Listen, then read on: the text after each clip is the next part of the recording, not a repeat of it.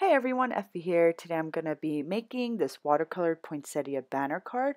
I'm using this large integrated banner cluster stamp from the set and I'm just going to stamp it on some regular cardstock with Versamark ink and then I'm going to spoon on some gold embossing powder and just hit the whole thing with my heat tool to get this beautiful gold embossed effect. And then I'm going to be doing some coloring with Tombow markers. These are similar to Zig markers in that they are water-based inks. Our poinsettia banner set is a really great versatile set to have in your stash if you need to make a quick holiday card.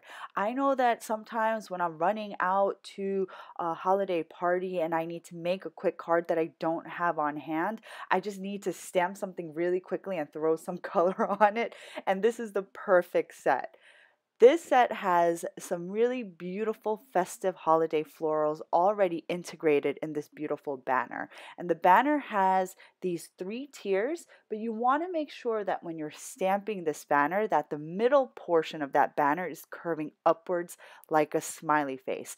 That way, the sentiments that come with the set are going to fit accurately and correctly into the banner.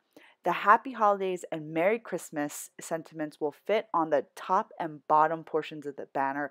However, the add on sentiments will fit within that middle portion of the banner only if it is curving upward. So you want to make sure that you stamp this the correct way if you plan on using those mini add on stamps that come with the set.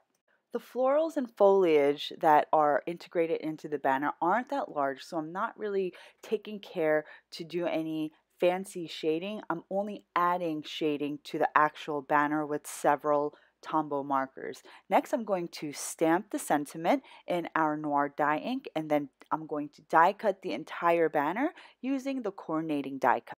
For my next step, I'm going to create a nice watercolored background to rest or ground that poinsettia banner. So I'm starting off with an A2 size watercolor panel. I'm using Canson XL 140 pound watercolor paper that is just cut down to an A2 panel. Next, I'm going to just apply clean water onto the watercolor paper because I want to do some wet on wet technique, but my watercoloring is not going to be too extensive or intricate. I'm just literally creating a wash of color using my turquoise color burst.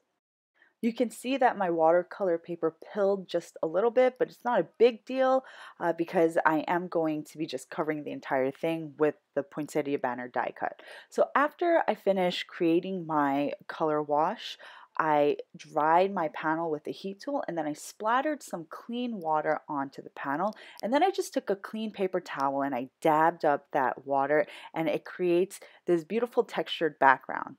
Next I'm going to hit the panel with my heat tool again to dry the panel completely and I'm going to just add some additional splatters but this time with Prussian blue color burst uh, and I just basically took the color burst powder mixed it with water and just did some splattering to create this really beautiful one layer textured look.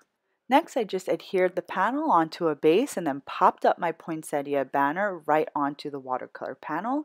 If I remade this card, I probably would have added some stitching to the edges of that watercolor panel for a more finished look, but I didn't think of it as I was making the card.